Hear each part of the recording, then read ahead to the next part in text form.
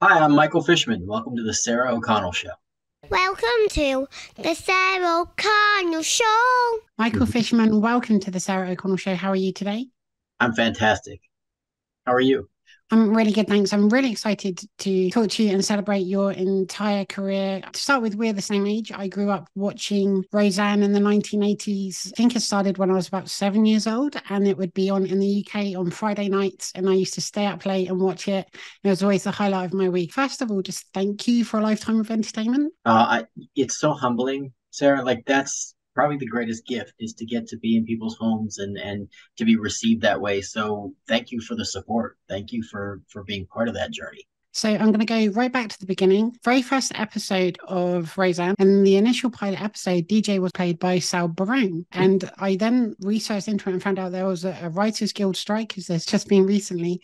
And between the pilot episode and the second, he had grown quite a lot. He was this eight-year-old kid and he'd soon be bigger than his sisters, right? So, can you tell me how you first heard about the role and auditioned and became a part of the show? Yeah, I'm going to back up just a hair. Um, I had just started auditioning. Uh, my sister wanted to earn money for college, and my parents both had normal jobs and had no connection to this business. So, they didn't want us to do anything long term. And it was 1988, and the writer's strike was going on. And much like this last strike, there's no work. And I just gotten an agent, and the agent said, "Hey, you know, there's nothing going on. He'll never get this job because they want somebody with experience. Would you just take him on the audition because he fits the description really well?" And we knew nothing. Um, and my parents said, "Absolutely not. That's a full time job if he ever gets it." And they're like, "Well, he'll never get it." So my parents were like, "Okay, we'll take him the first one." And uh, it was seven uh, auditions spanning six months so it was a big process. What we didn't know at the time was they had already shot that pilot, like you mentioned. Yeah. We thought it was for a pilot, which for people who don't know, that's the first episode of, of shows to kind of test it out. And in reality, they had already sold it and it was actually for 13. So the second audition I went to, uh, they talked my parents into taking me back, kind of against their better judgment. And I met Roseanne and she and I hit it off. Um, and she pushed for me and I don't know I, the numbers. I have no idea. It was it was tens of thousands of kids auditioned for that role. By the second or third audition, there was only three of us left. Wow! And the company wanted one, the network wanted one, and she wanted me. And over the span of all those auditions, I ended up winning that role, and it you know was a life changing experience. Well, first of all, a very very belated congratulations to you for getting that. well, you know, I think things come to you that you're meant to. The other two guys have gone on to have amazing careers too. So, you know, I think everybody ended up where they were supposed to be. Absolutely. And did you ever meet the original DJ? No, uh, we've never had any uh, interaction. You know, that decision was made long before I ever auditioned, right? Probably oh. six to eight months before. So there was never any reason. I didn't know anything about it. You know, I have read like in Roseanne's books or, or in other people's interviews and stuff, I know there were some conflicts on set, and I know that that his parents didn't love the business and the process, and it was kind of his first things. But for me, this was a beautiful gift, um, and so there was never any kind of there's no rigid you know one versus the other kind of thing. I think fans sometimes online want to know if there was like a story. The story is there was a job available and I auditioned and, and started a process. There's so many iconic actors that have been on that show over the years, but can you tell me what John Goodman and Laurie Metcalf have been like to work with? Uh, phenomenal. I mean, our, our, entire cast is is really phenomenal. They're yeah. incredibly gifted. It's it's a gluttony of of talent, and I'm literally standing in the middle of legends. I grew up among legends and at the time they weren't i think which was even better because i got to watch them grow and shape themselves and i got to watch the impact that they had on the world around us and after but i got to see them kind of in that pure state as, as you're beginning so i got to watch everybody grow I started recollecting the DVDs to rewatch them, and I'd be watching an episode and I paused it and I was like, hang on, is that Tobey Maguire? And he was probably 12 or something. Yes. Mm. Watch these shows Everyone. at the time and don't realize that they're in them. And then you go back and you can recognize people that you otherwise didn't notice. Yeah. And we had such a, I mean, really, we launched a lot of careers. We were the early step for a lot of people and not just in front of the camera, but behind the camera. And, you know, if I, I'm not a name dropper, but if I if I was gonna make a list, my list is about as good as anybody else's because I work with really people that you know Tobey Maguire and and you know you know Leonardo DiCaprio and George Clooney. Like in those early days, we had so many just really talented people. We were welcoming for everyone. You really did. I also interviewed Tom Arnold on my show, and we mm-hmm. spoke about when he used to work in front of and behind the camera. And afterwards, we were just talking online one night, and I asked him who his favorite cameo on the show was. And he said Bruce Willis, and nobody knew that he was going to be on the show and was just doing the end credit sequence and got into bed with Roseanne. And the audience went insane, apparently. Yeah, and no one knew that was happening. Uh, he came to visit, he was friends with John, and they kind of snuck him in the bed to surprise everybody. And, you know, those are the kind of things that we did in the time period because we, we were disruptive rule breakers, but in a very um, functional and professional manner. Yeah. So it was a great place to work because you, you know you really could push the boundaries. In those days, movies and TV were so separate, and now we kind of, I think we help break down some of those walls. You really do. And so, some of my favorite ever episodes and a time of the year that I now exclusively associate with Roseanne is Halloween. I love those episodes. They were so creative and fun. Did you have a favorite costume? You know, I got it easy on Halloween. Most of my costumes were, were relatively easy, especially in comparison to what other people had to wear that first one called Boo, where I open the door and I'm like the impaled ninja, was a pretty great costume. Yeah. And then I would tell you, you know, from a from a personal standpoint and an experiential and doing a show, the next one where I I play the witch, right, or the mm. warlock, and there's all these questions about, you know, at that time, you know, is he is he dressing in a feminine outfit? Is like these were big social constructs that we're still battling with now yeah. And we were so far ahead. It was such a beautiful opportunity. It really was. You also played the Alfalfa Nator. Yes. That was a really yeah. funny episode. When you we did things like that where, you know, he wants to be the Terminator and they want him to be alfalfa and then we combine the two to kind of which is what you do with kids right you try yeah. and find that middle ground can you tell me what it was like at the time? You're just a small kid, but you're starring in the biggest show on TV. What was it like growing up and being well known when you're still at school and trying to find your way through the world and learn things yourself? Yeah, you you know, I, I think for me, I never had any anonymity, right? I never had a private life per se. All of my memories really are public. I mean, we literally our audience was so huge. And when we're talking about 24 to 30 million people. We're talking about numbers for like huge events or Super Bowls now. And that was a weekly occurrence. So there was nowhere you could go where people didn't know you. But it also it, it comes with responsibility and it comes with requirements. But at the same time, you know, I always looked at it as a blessing and I've always kind of embraced it and said, okay, this is a responsibility. I, am going to make the most of it and I'm going to have a voice, then I'm going to try and use my voice well. Looking back on that original series, have you got any favorite scenes or moments from the production that are really special to you or stood out as being funnier than the rest? Oh, I mean, I, I, I have scenes from every season. I mean, I, I have so many episodes. You know, I you know I could go season by season. I think I have one time on my Facebook somewhere in an old post, and I probably should return to that because now I have so much more perspective Mm. Uh, I would say like an episode like Lover's Lanes early on. I want to say it's like the fourth or fifth episode. I think it's the beginning of when you really see Roseanne's writing when they're gonna make fun of Becky at the bowling alley and they're gonna tease her. Um, you know, when the girls got their period, that was such a huge conversation and such a fight to put on the air. Yeah. It was a fight to do Halloween because Halloween hadn't really been done on television before. And it was it was a huge battle and credit to Roseanne because when they originally did it, you know, everyone said we're not going to put it on the air, and she goes, "Well, then just don't." But we're we're doing it, so we fought for things. Um, you know, we had the lesbian kiss episode with Mariel Hemingway, which was so impactful. Um, I got to watch George Clooney kind of launch his career, and he had some great moments as a character.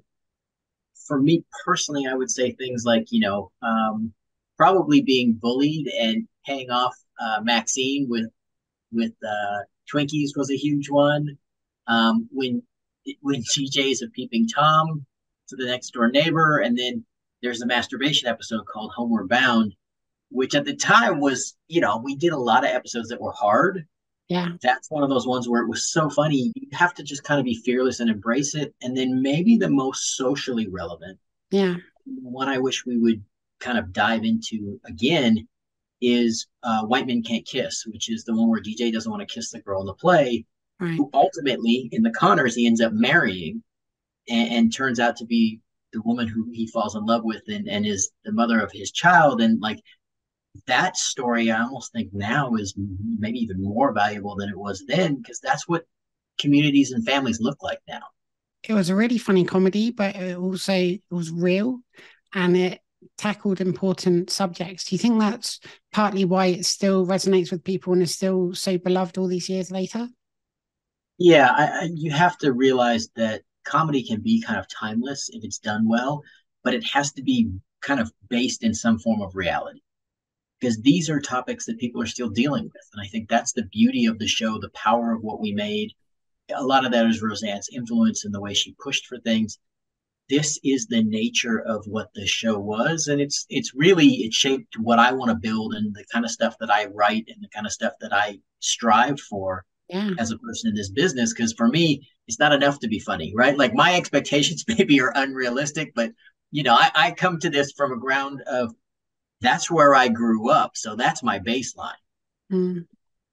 Yeah, it's really important. And you become more invested in the characters and what they're going through and their not just their triumphs, but their struggles and these difficult moments. And also just how you can use comedy to help lift them and get yourself through those things. Yeah, comedy, you know, I think anybody who's ever been through anything traumatic in their life realizes if you can't find a way to laugh, it's going to be very difficult for you to progress. And and truthfully, for characters, if we're really smart, is usually it's not funny to the person experiencing it. Right but for the rest of the world, it can be funny. And then to find the humor and find the love within the framework of what's going on. And we all get tested in life. Life is not easy. And that's one of those things that is universal. So I think if you lean into that, there's a lot of great topics that come if you're just not a, if you're afraid to run into those things, you run away and you kind of spin your wheels. But if you're willing to lean into it, the hard, the ugly, the true, the, that's where the best stuff comes from and the best comedy comes from. I completely agree. I've always tried to use humor to get through difficult situations. And I worked at a company once where they were making everybody redundant. I knew they were going to make me redundant. It mm-hmm. was fine. I was over it. It wasn't a problem. But I started to feel really bad for these two people that were going around having to tell everyone one by one that their life was kind of ruined in that moment. And so I just wanted to make them laugh. And by the end of it, they said it was the funniest redundancy they'd ever had. And uh, that was important to me. Well, there's something about being the person who wants to bring peace to others, right? Yeah. Like if you can find humor in it, like that's a terrible situation, right? but there's a part of you where it's like if you can step back and you can go, this is really dumb, right? Like and and, and the way about like I don't have to be I don't have to be aggressive or combative in this moment. If I step back and have a better perspective, I can really realize hey, there's humor here if I can find it. I think so. It wasn't like anything I was going to say could change it. So the best I could do was steer things towards the best interaction that I could have with these people. And I'm quite irresponsible anyway, so it was fine. Uh, sounds pretty wise to me. Sounds um sounds like you have the right grounded soul and you you get the concept that things are bigger than just the moment. Yeah i'm of the opinion that okay i'm now going in this direction exciting what am i going to do next? I'm just ready for my next challenge or creating that next opportunity. Yeah that's kind of how i look at it too. I mean i, I feel like people get bogged down in the most like we all have to make adjustments. Life is about change and and things are changing all the time whether we realize it or not. So the things that are meant to happen will happen and you'll find your way. Sometimes it's not what happens, but how you react to it that can ruin or just get you through the next day, right? I think it's everything. I think how we react to things, you're going to be, like I said, you're going to be tested in life. Things are going to happen that you don't want. There are going to be tough moments. It doesn't matter how great your life is, you're going to lose people you love, right? Yeah. And that is a reality of living. And so part of it is you have to embrace the living part of it and, you know, our perspective on things shapes most of what we experience. Really does. So I want to go back to Roseanne towards the end of it. So season nine, I felt had a different vibe to the rest of the show. So at the end of season eight, Dan had had a heart attack. Then we find out that he'd been cheating on Roseanne. They win the lottery. Then in the end of it, you kind of find out it was all just part of a book and Dan hadn't had an affair, but he'd died. Looking back, what did you think on that season and everything that happened in it? Well, I'm going to back up just a step. At the end of season eight, we didn't know if we were coming back. All right, And okay. a lot of talk um, whether we were going to come back or not. So that was a rough off season, uh, Yeah. probably one of the roughest I ever experienced because I realized I hadn't told everybody how much they meant to me. So I kind of came back on season nine with the mindset that I was going to tell everybody how important they were and make sure I didn't leave anything unsaid.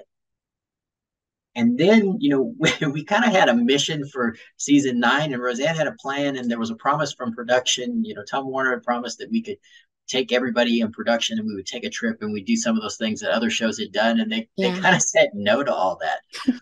and um, she, in a very bold way, said, Hey, wait a minute, you know, then I'm going to do what I want to do here. And then all of a sudden we won the lottery, and, and there's a lot of really interesting um, social constructs, I would say, in that sense. I know people have debates uh, as to how much they like it, don't like it, this, that, or the other. That's open for interpretation, and that's the power of someone who has creative control and they get to use it the way they want. But you know, that train episode, right? We, we basically, the train gets taken over by the Taliban. That's 1997. That's Yeah. so far before any of the stuff that, that we see in the 2000s and, and later that lead to a war. You know, we had all these things about oppressing women's voices. We had all these kind of things about rich and poor and, and these changes. There are some really good constructs within that season. I think that there are messages there that I think are really valuable. And Roseanne was bold, and she was always bold. And at the end of that, you know, there was actually talk of doing a spinoff and talk of doing other stuff, her and I. And, you know, the way we ended it, kind of our initial, there was an initial ending that got adjusted because Mm. it kind of got leaked to the world. And at the end, it was only three people in the studio. They cleared the studio, and only three people knew the ending. So we literally had to watch on television to see, to find out that it was written and it was a book and all that stuff. Like we had to watch at home like everybody else. So it was a bit of a shock. Yeah. I think if I had a show, I'd definitely write into it that we were going to go to Hawaii. I think that's a good plan. Well, and she did something that's really brilliant. Um, and no one's ever really given her credit. I've said it a few times, but we shifted. We had been a, a largely the production, the crew portion had been non-union.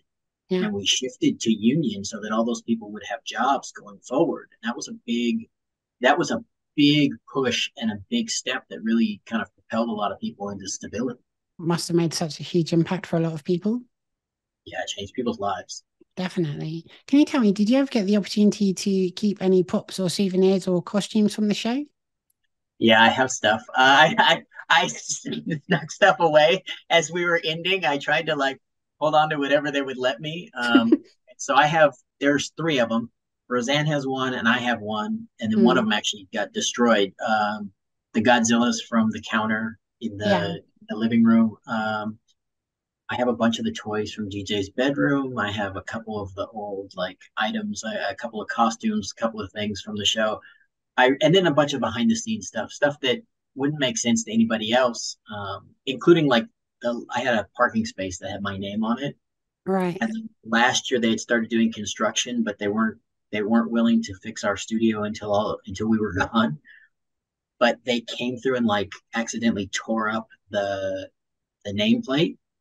So I have this mangled nameplate, but it kind of has this meaning for me from the standpoint of it's kind of bent and shifted and kind of crushed, but still still good, still made it through. And kind of that was kind of a message for kind of that last year and at the end. I always wondered if someone had the original sofa in their bedroom or something. And Well, the sofa originally went to the Smithsonian, Mm. and and then it was it's owned by a private collector. When we started to do the new show, or when we came back as Roseanne, they they wouldn't let us use it unless they had like 24 hour security and like all this is like it became so insane there was no way that we could have afforded to even use our own couch so it's such a weird thing. So we basically found something very similar. It was in good hands for over a decade, right? yeah, and it- you know, I don't know what that thing smelled like because people put stuff in it like we we weren't kind to it because in the beginning you don't know what kind of longevity you're gonna have. So sometimes people do some funny things, and then a few years later, then it becomes a running joke inside the show, and then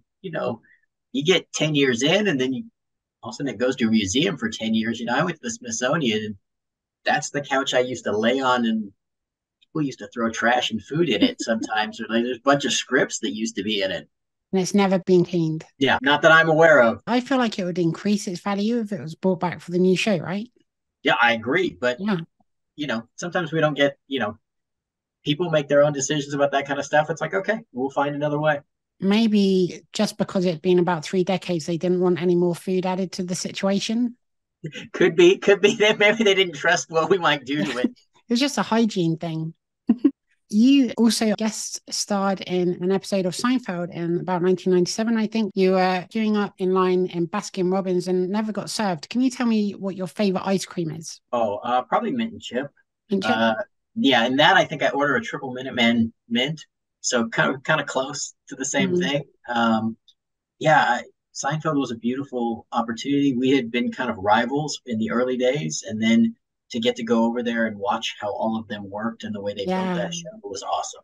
yeah, it must have been so much fun. I remember watching the episode and I was just like, there's Michael Fishman. To work with James Spader too in that, on Yeah. top of getting to work with Jason Alexander, and then you know, twenty something years later, I get to direct Jason Alexander when he's on the Conners, and you know, it's a full circle moment again. Yeah, it really is. You also starred in Walker Texas Ranger. You voiced characters in Little Rosey and Hey Arnold. Are there any other shows that you'd love to be a part of?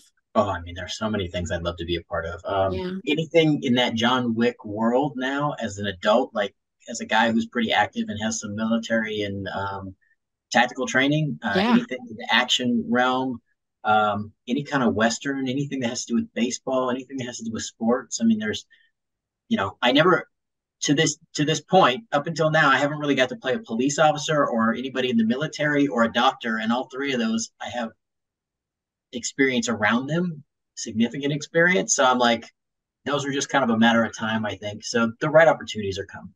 So really, you need a Western action film set at a baseball stadium with a bunch of army people in it, right? could, could be. You know if you're going to do them all at once yeah i'm Yeah. i'm down for pretty much anything. I don't think people realize just how uh, i probably lean more towards drama now than i do towards comedy although i love doing comedy. It's just my life experiences that way but i also have a lot of you know, a lot of unique skills that that kind of benefit me and a lot of stuff for a stunt environment that works well It's great being so well rounded as an actor, not just that, but in front and behind the camera as well. You just understand the entire production process because you've been around it your entire life. Yeah, and I've worked in almost every department with the exception of hair and makeup and wardrobe, and I would butcher both of those. So it's probably for everybody's best interest. But I've been an electrician and I've worked in a grip, and you know, I, I, I was a production design person. I built sets. I was a prop guy, a set dresser.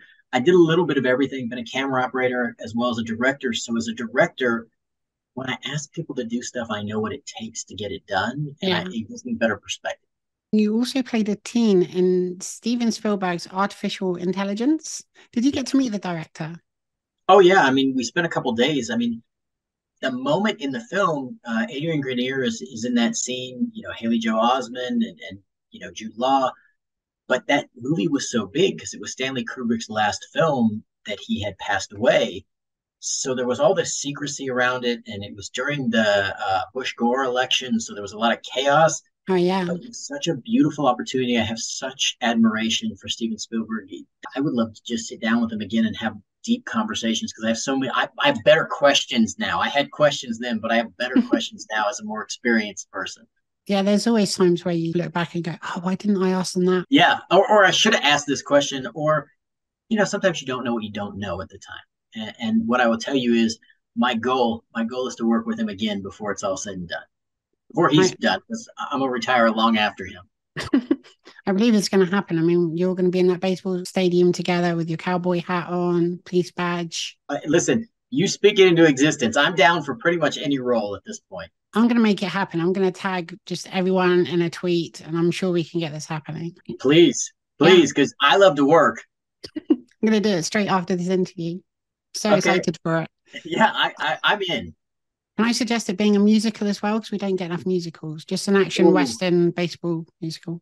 Now, I might have to draw the line there. The one Mm. thing you don't want to hear is me, me singing. I'm the one actor that, like, you know, they say anybody can really carry a tune. I would beg to differ. I'm one of those people, who, you know, say some people need a bucket. I would need, like, a backhoe, a dump truck, and a whole choir behind me to help balance me out because that, that is not my strong suit.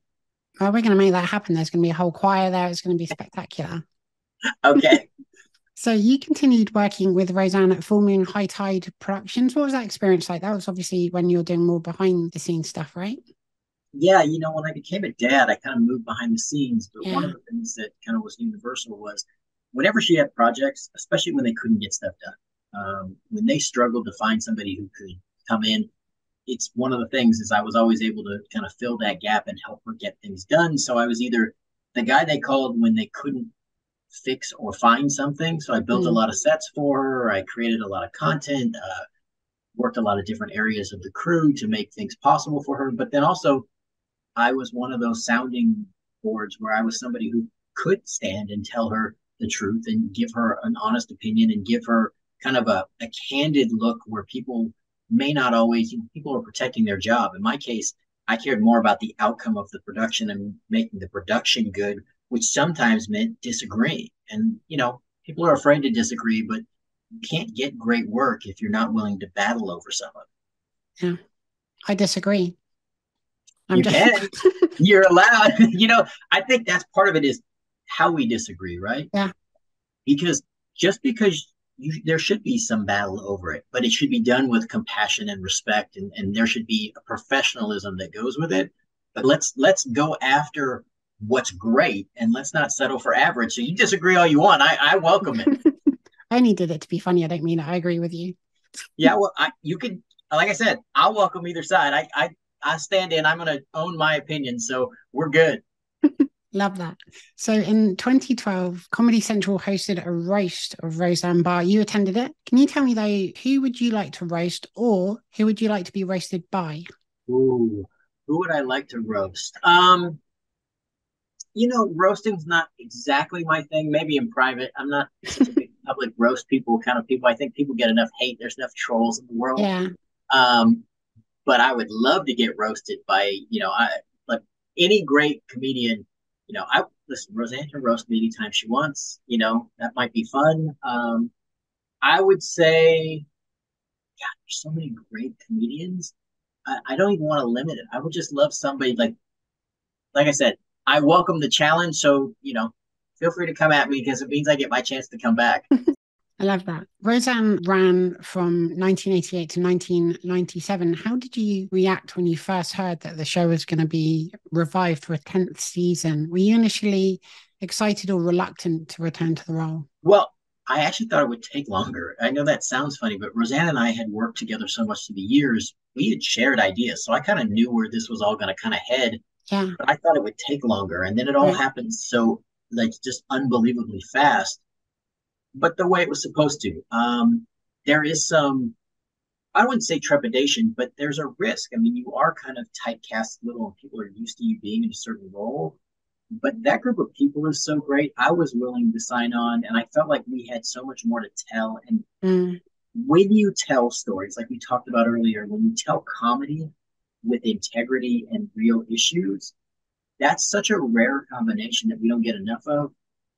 You can't help but want to sign up for more of that. The show again was a huge success and was commissioned for an 11th season, but then obviously some events happened online regarding Roseanne and the show was initially cancelled. And then I think about a month later it was uncancelled. That must have been such a conflicting, stressful, difficult time for you. It was a pretty devastating time. Um, yeah. so, so what happened is the actual Roseanne show got canceled.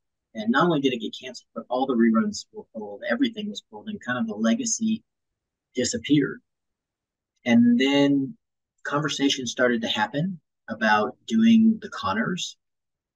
And I really initially said no because my response was, you know, I had a lot of loyalty to her and I just didn't feel right about moving on until she started coming out and making public statements that she wanted the show to continue. Yeah. Um, and she owns a piece of the show. You know, she's compensated for every episode. So she's always been a part of things. Yeah.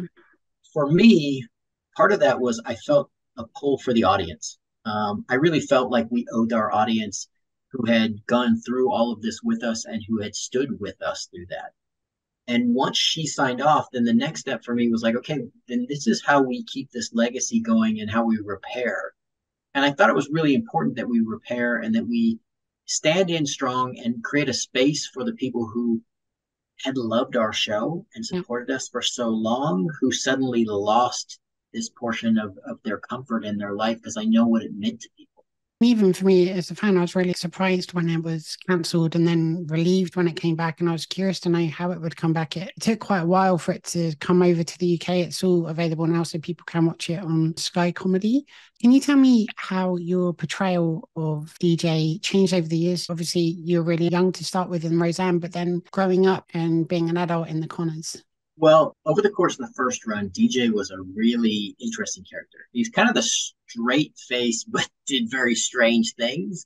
So I got to be the straight man at times, and I got to be wacky at times, which is a beautiful thing to get to play. He also dove into really deep topics, and I, I think that was an incredible blessing because it, it, grew me not just as a, a, a performer, but as a person. Then you know, you get a twenty year gap in there you grow a lot as an individual. And I got this beautiful gift of coming back being a veteran. And we started talking about PTSD, which I think is a huge topic. It's something that is in a number of the projects I'm building because we didn't get to talk about it enough. And yeah. for me, that that's something that I'm very passionate about being from a military family. And then, you know, being in an interracial marriage, having a biracial child, these I think are topics that are one, they're pervasive throughout society, but they're not as common on screen as they yeah. are off. And so for me, I wanted all of it. You know, I, I dove into all of it, and I those were my goals. And I, you know, I'm sad that we didn't get as far into those things as I would have liked. But again, it means that there's other places for me to do so. Absolutely. And I think representation on screen is so important for so many marginalized communities and people going through stuff that aren't in the public conversation just get ignored or looked over. And I just think it's really important that you're taking these things and bring them up to actually talk about them rather than have people feel like they can't. So even if the first conversation is just about an episode of a show, that's a really good starting point. They are. And it's so important because we need productions that look like the world we live in. And we need to see on-screen representation. And that's not just you know that's not just groups that i fit in but also you know whether it be the lgbtqai community the trans community you know but also people who are dealing with chronic disease people who are yeah. dealing with caretaking um, people with mobility issues. You know we, we talked you know there's a number of people in in these episodes if you look at the episodes I directed, I was really specific about what the background looked like in yeah. some of those scenes. And you'll see that, you know, I, I read some of the studies, you know, there's studies released every couple of years about, you know, how we're doing in inclusion in our business.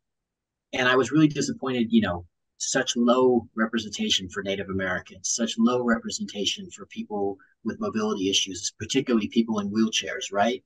And, and in the mm-hmm. background of things, particularly, you know, diverse groups and mixed backgrounds, right? Like not checking boxes, but right. we are such a we're all such a hodgepodge of, of different cultures and, and backgrounds.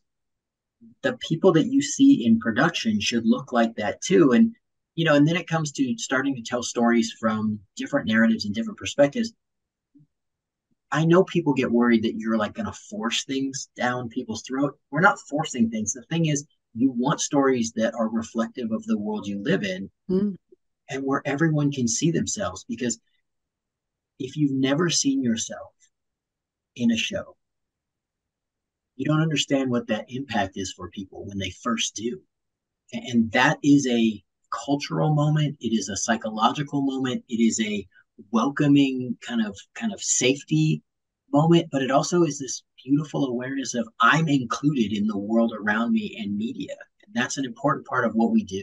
The world is a melting pot full of amazing people from diverse cultures and backgrounds, and we should celebrate that. And I just think it makes everything more interesting, more real, and just connects the world in a much better way.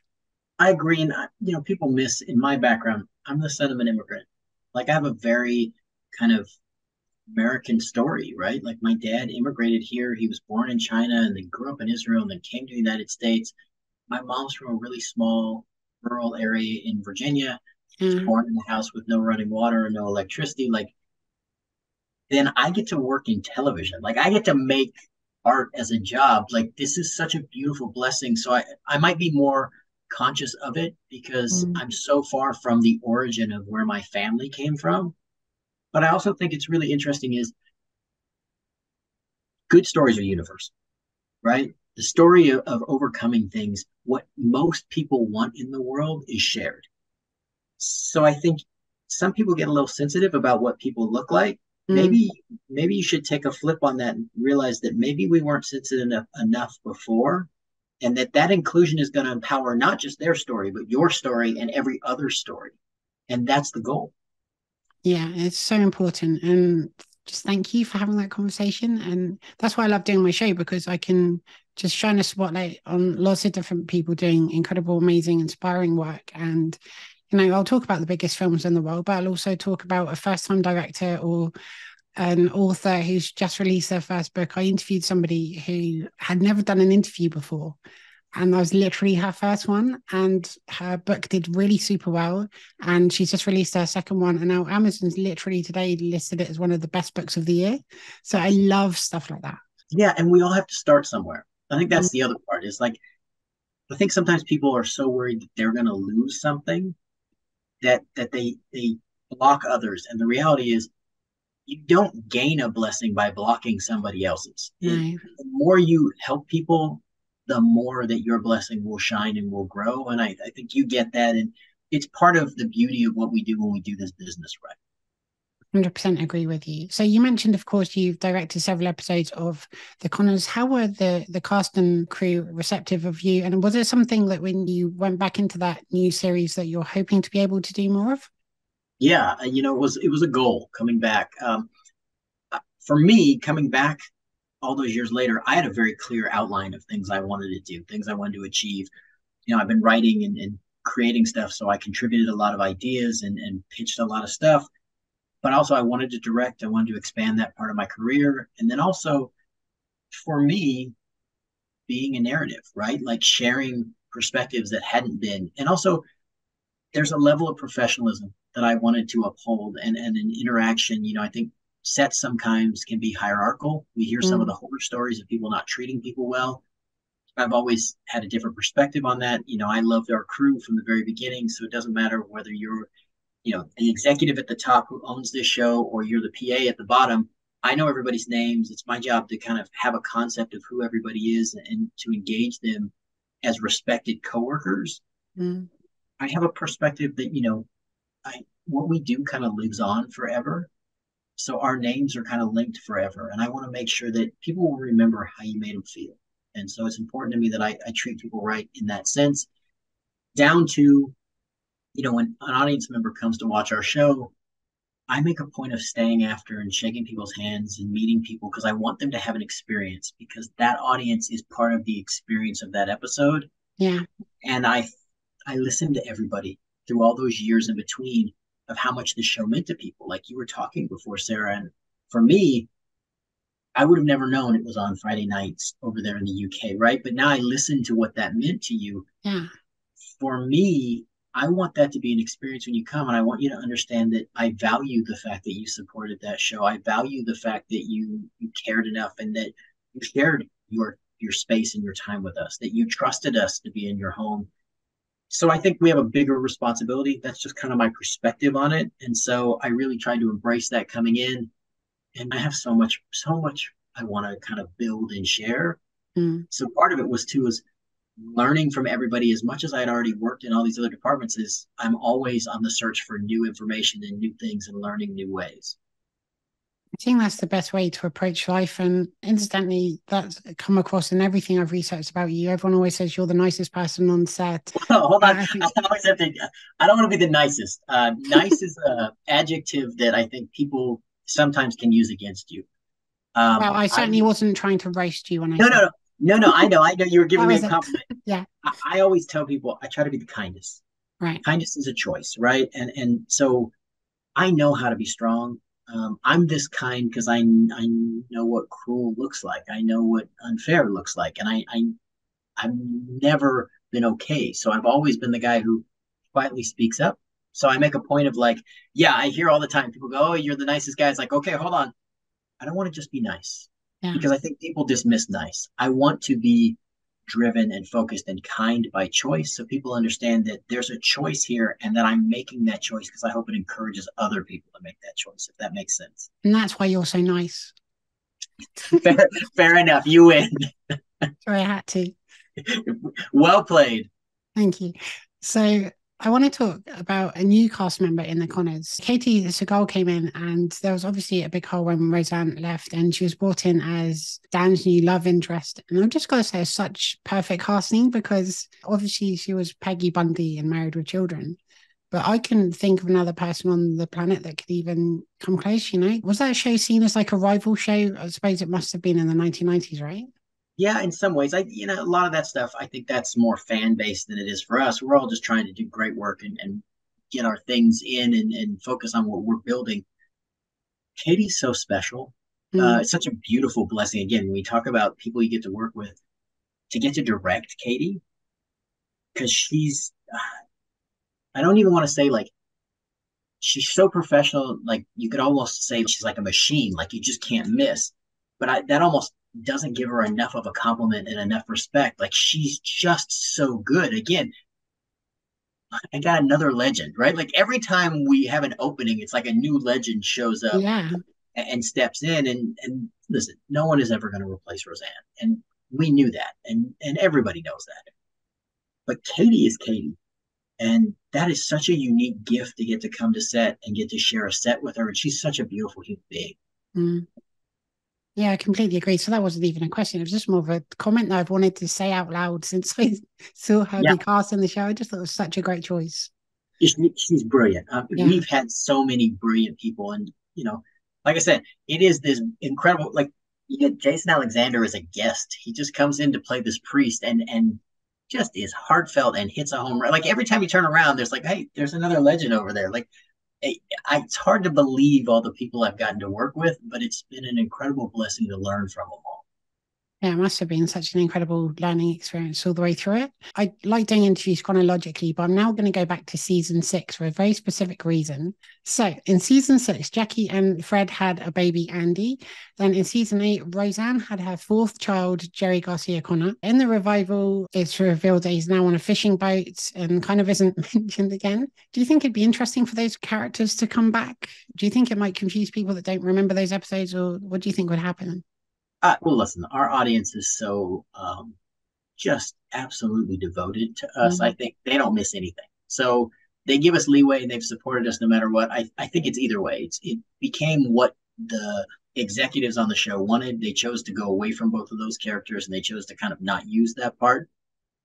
Again, if they choose to use those characters at any time, they're brilliant enough that they can really come up with amazing storylines. We have the ability to kind of go any way we want those are interesting characters. They're interesting storylines. I do understand. Mm-hmm. I think there they felt like there were too many kids and too many people to service, right. and ultimately, you know, my character ended up kind of also not really being included going forward, and that you know, there's just wasn't enough time. So I think there's always people we could include, and I think there's no there's no perfect way, right? People are always going to want certain things, and you know, you you take it as it comes it's fun to have those characters out there as potential storylines in the future as well. And so you didn't return for season five. Was the door left open for a return in the future? Is that something you'd still like to do if given the opportunity?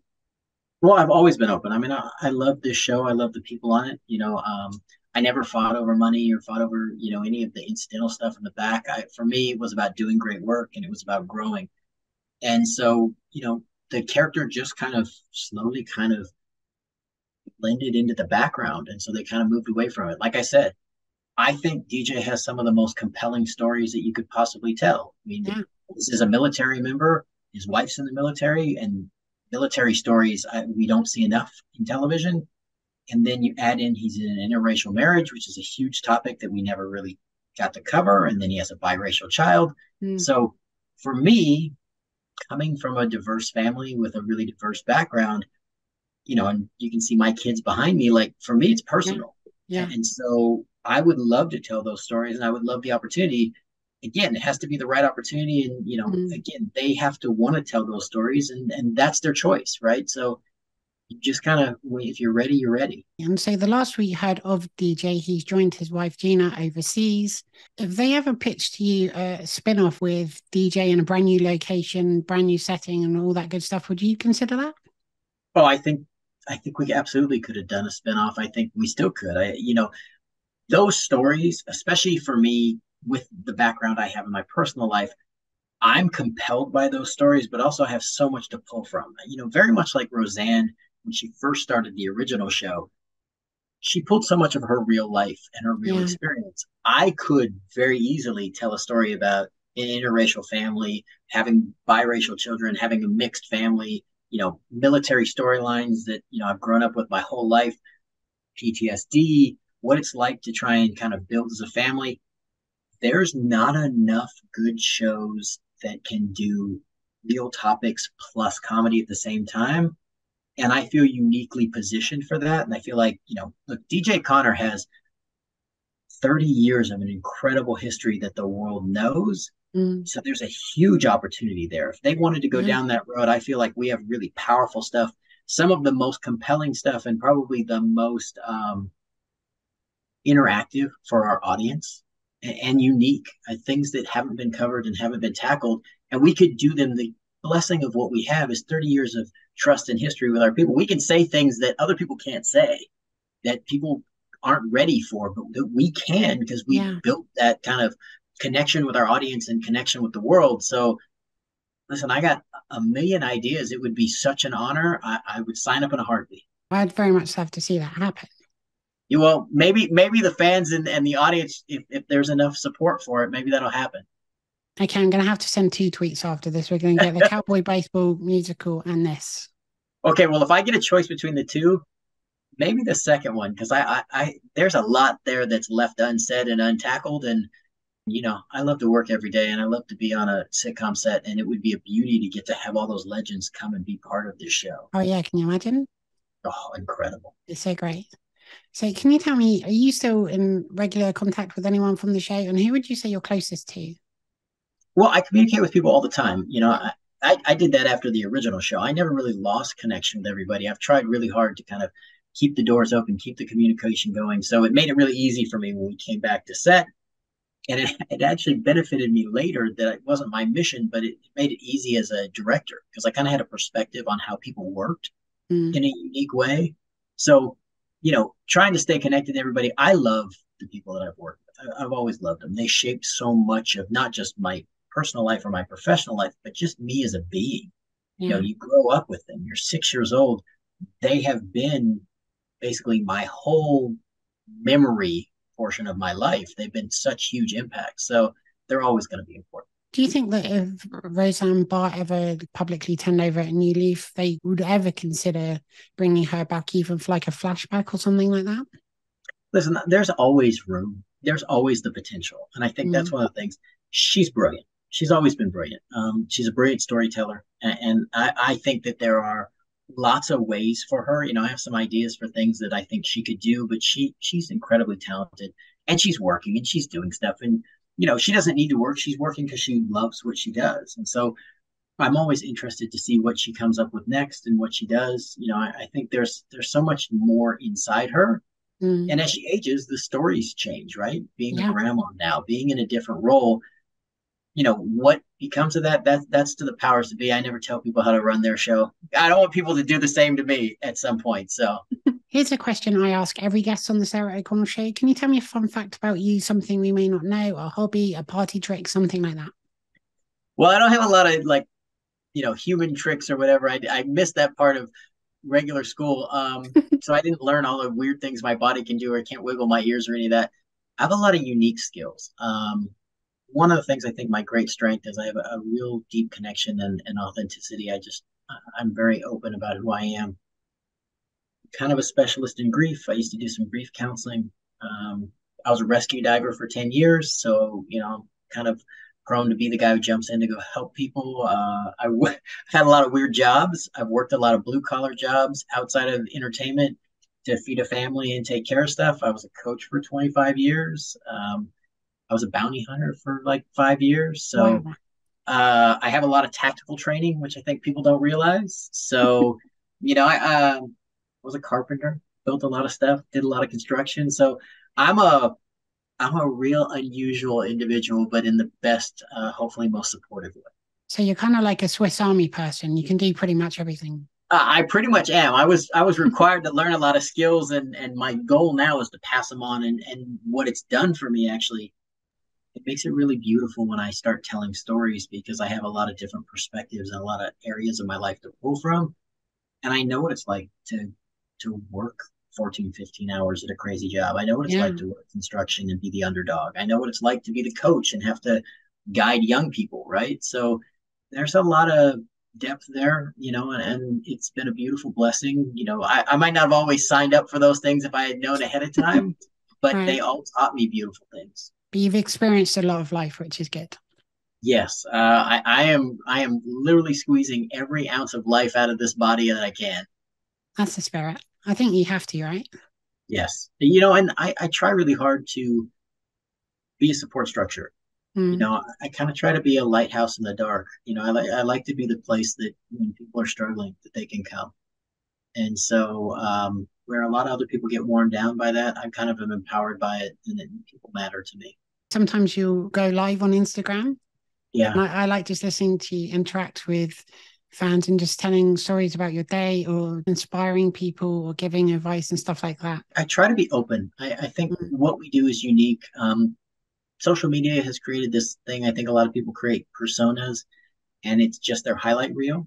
And I think that's really dangerous for a lot of, especially for young people. And a lot of people are struggling with mental health. Um, you know, particularly, you know, when I lost my son and so sorry to hear that, by the way. Yeah, and and I didn't know how to handle that. And normally I would, uh, you know, I spent so many years being so private. Yeah. Um, but I talked to his sister and, and really asked her because people started asking me about it. And she said, you know, if you can share his story and if we can help one other family not experience that. And that really shifted me and opened me in certain ways. And that led to me doing a lot of lives and a lot of um, really dangerously candid and open conversations that I think, you know, representatives got really nervous about yeah. But it was really important because people came on and shared their stories. And the thing people need to realize is whether it be in entertainment or just on a personal level, like you're not in it alone. Like the things you're facing, other people are facing too. And yeah. there is support, there is compassion. So don't give up more than anything, right? Don't punish yourself because you deserve for somebody to care and listen and, and matter.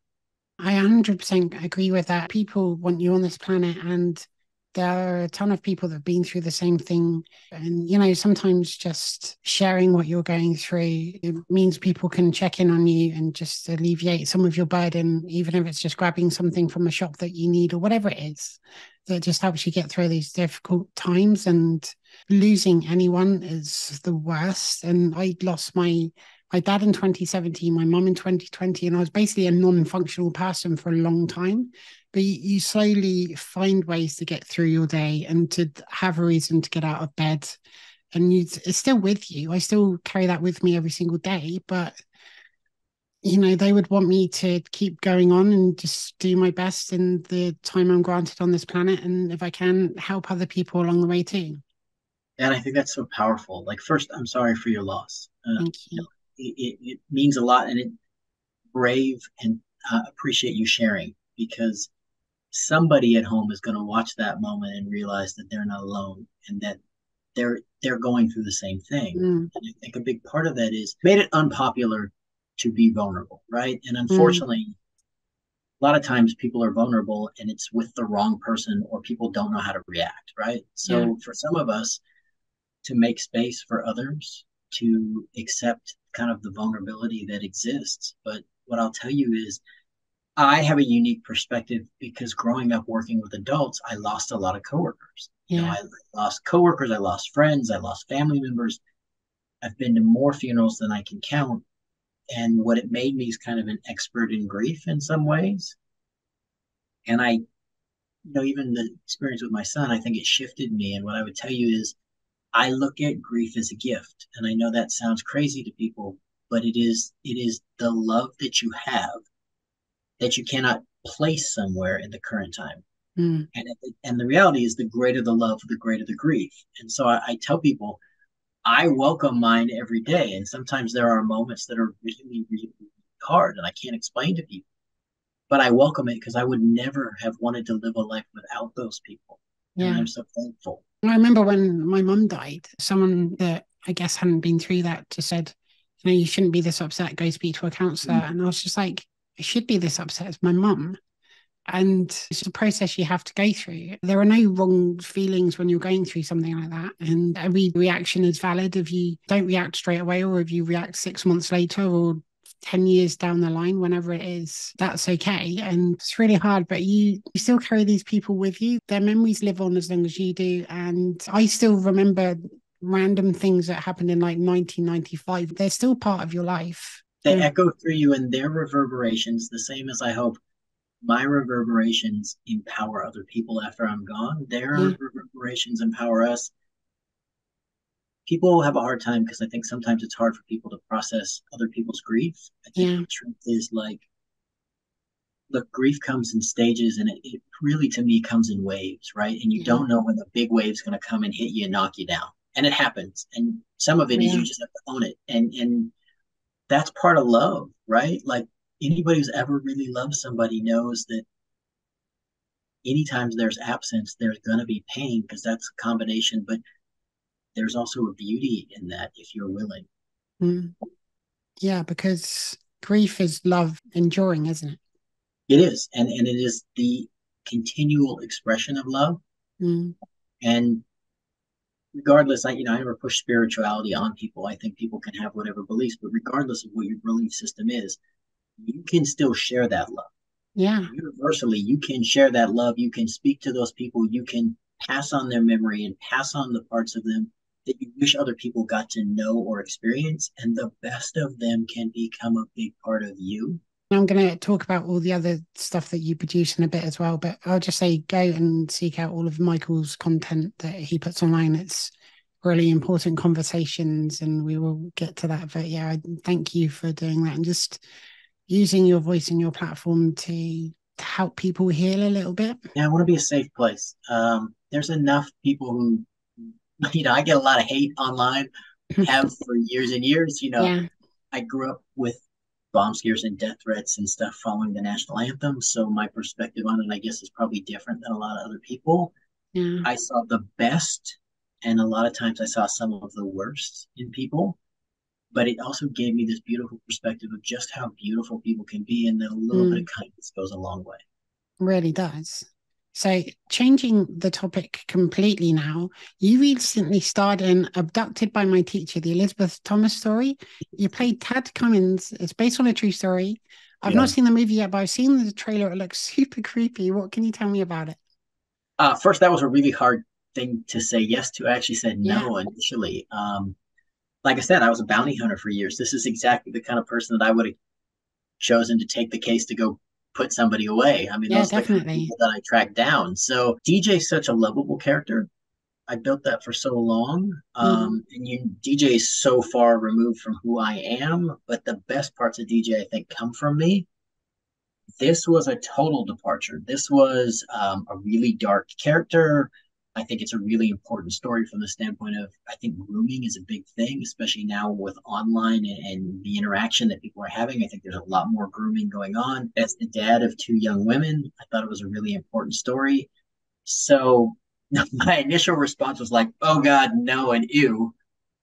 And then I, you know, I really actually I talked to both my daughters. Um, and I sent them the script. Uh, we made some adjustments. You know, uh, Sean, who is the director, was wonderful, and, and Juliet, who kind of ran it, but uh, Elizabeth Smart was also attached. So you had somebody with personal experience yeah. to help shape this story. So I, I started to feel slightly more comfortable. And then it's like, man, this is a big challenge. And like, you know, being at the top of a call sheet, right? Being at being the lead and and getting to, you know, Summer and I are kind of co-leads in this thing. She's a beautiful young actress who is so talented. You know, she's like 20 years old but looks 14 so some of those some of those scenes i you know i have to say things that whew, make my skin crawl even and there were moments where the crew would be like are you okay and i was like no but that's a good thing because that's part of who I am. But the ability to transform yourself, I mean, you want to talk about a challenge, like to be able to to step into that and to be impactful and to play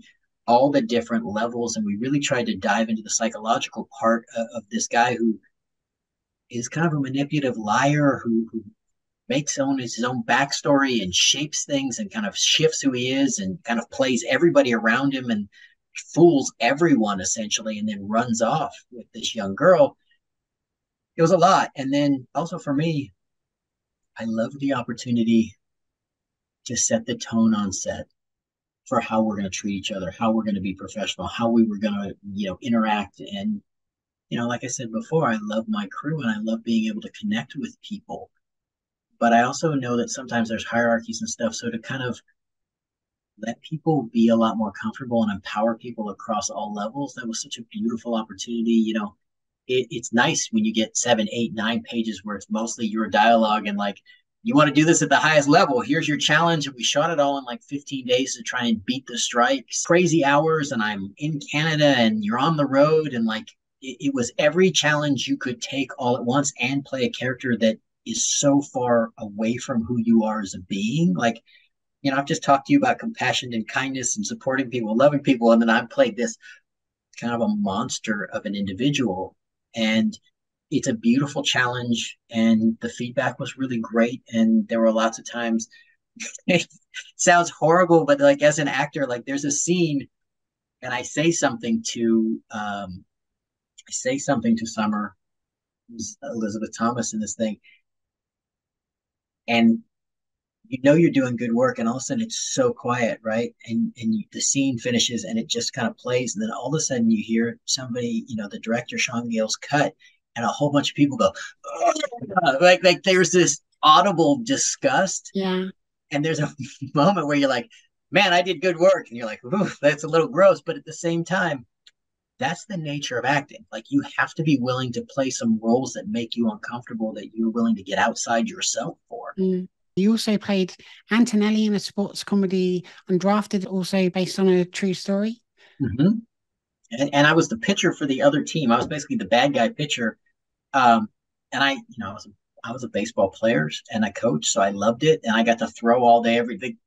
But it's funny because they made made me slow down. So there's times like the coach and me's like, "Man, you don't look nearly as athletic as you should, there, buddy." But you know, because you know, I had to throw easier so people could hit the ball and like but what a beautiful, again, as a baseball player, as that being one of your dreams growing up, to get to do that in a film and you know i'm a huge fan of baseball films to begin with so i've always it was on my bucket list so i got to check something else off. You have just launched the lovesick podcast with dorothea mcguire and jada ford they're a mother and daughter combo. Can you tell us about how it first came about? I know you talk about chronic illness and health and wellness and just loving sick people. I've had a listen to it. It's really great conversations. Yeah you know lovesick came about it, it was kind of jada's baby and her her idea. Jada and I had been friends. Jada came on my other podcast, which is Fish's Call Sheet, where I celebrate people who work in the industry. I try to celebrate the people behind the scenes who don't get the credit and kind of tell their journey and their story, which I'm still doing, kind of revamping. Love Sick is about loving people who are sick, the journey of being sick, and, and kind of the love that goes with dealing with illness and, wellness and, and kind of everything involved, mental health. So each episode we dive into somebody's story but they also kind of take us into their world but also the way that they've dealt with either a chronic illness or personal story you know and we have these deep conversations you know to have a mother and daughter team to get their perspective you know you kind of get multiple generations and you get very different perspectives. You get male female you get different ages you get people who are living with chronic illnesses. So for a lot of people we want to open a discussion because in a lot of places, especially rare diseases, there's not really a community and people feel alone. And so they don't always get the care and the help and the support they need. So again, this is an opportunity to kind of maybe shine the light a little and help people kind of feel safe and, and connect and build a community where people can talk and kind of share information and provide each other resources for how to be healthier, how to empower themselves in a holistic, in a natural way, in, in different forms of medicine and have an idea of what to ask their doctors. So it's this goal of kind of creating a place where people can learn but also interact and connect I really highly recommend the podcast, and it's great for just getting life advice for yourself and how to better support other people. If you hear about something that you haven't learned about before, then your friends going through it, it enables you to better support them. It's exciting. I mean, we're a couple ahead, and you know, I'm reaching out to people all the time. So if anybody has a great story or, or wants to share their journey, their health journey, or even the things they do to stay healthy, right? come be a part of it, be a part of our community. If I ever work out any ways to stay healthy, I'll be on there. I'm basically the before photo at the moment. So give oh, me come a on. come on. Uh, somebody as kind as you are who works as hard to take kind of a real detailed look into people's lives. There's a lot of kindness and compassion there. There's a lot of healthy parts of that. Thank you very much. I just love doing it and celebrating people. So, can you tell me what you're working on next? Obviously, your your podcast and all that other good stuff. Anything else you might have in the pipeline? well, the podcast was a great thing to do during the strike and kind of kind of launch that area. I'm still doing Fish's Call Sheet, where I celebrate people who work on the crew and work behind the scenes. And then I have a bunch of pilots and a bunch of shows that I'm out pitching and a bunch of movies. So I have a couple of comedies. I have two sitcoms. I have one military based. I have one that kind of is behind the entertainment industry. And then I have some more. I'm working with somebody on a caregiver one. And, and there's some other projects. I have a Western you know some dramas and then i have a huge um I have to be careful how much i say in front of the whole world right um, tell anybody it's fine it, right it's a it's a government agency that's never been used that it's kind of a serialized drama that kind of taps into some of my tactical and and you know my other background and so there's all these different projects uh, i'm also working on a medical show um, from a unique perspective so it's a ton of stuff. You know, I, I love to work, and for me, it's about telling a good story. It's not really about writing stuff necessarily for me. It's about writing stuff that compels me and from perspectives that you, you mm-hmm. don't hear a lot of. So the goal is, you know, to spend the next 40, 45 years making incredible productions that people can connect with. I know that you will, and I wish you the very best of luck with all of that. I know it's all going to be amazing, and I can't wait to watch all of it. Oh, I deeply appreciate that even if some of it's not available in the UK and I have to go back over to the US again to watch things? Well, you're always welcome to come out this way, but here's what I'll tell you. If you see something that I did that you want, I will quietly sneak you a little something if you Oh, really? Know. That'd be amazing. Yeah. Well, okay. I'll probably do that quite a lot then. Thank you. Okay. So, have you got any advice for anybody that wants to get into acting or filmmaking? Yeah, I would tell you make stuff. If you want to be in this business, gone are the days where you have to spend a ton of money and you know cameras used to be hard to get and the and the, the resources were almost impossible once upon a time when I started out. Now people are making movies on their phones. And what I would tell you is if you have a good idea, find like-minded people. Build your community. Because really this business at its best is a bunch of community-oriented people building together.